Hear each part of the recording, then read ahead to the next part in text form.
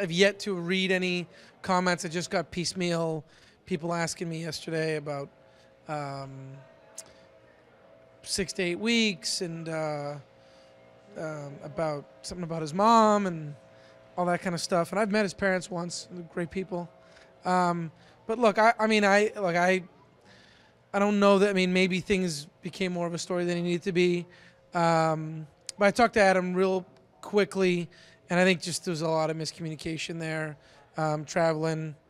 Um, obviously, we normally wait, as you guys know, till we get all the facts. There was a reason he was going to Charlotte to have a foot specialist examine him. Same way if a guy has a hand issue, they go to a hand specialist and so on. And we don't don't release that stuff. So sometimes you guys get a player, and I wasn't there. I don't know the context. I have yet to see the interview or like that at all. But um, look, he was you know, he's it's going to be right now. It looks like two to three weeks.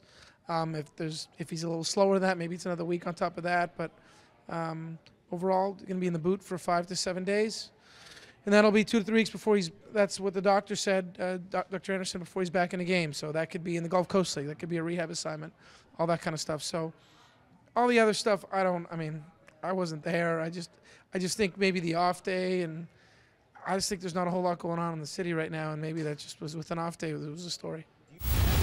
Again, I think a lot was made made of this. Adam's fine. No one's upset at him. No one's mad. Um, someone was telling me about him having apologies or things like that. I mean, this is this took on a life of its own. That's not even. I just think it's a non-story. So, I mean, the fact that I'm spending 10 minutes having to talk about it, someone's got to do it. But um, look, we move on. It's it. It's I just again, it's just normally it doesn't come from the player, it comes from the team. So, and we had an off day, and it wasn't anything going on.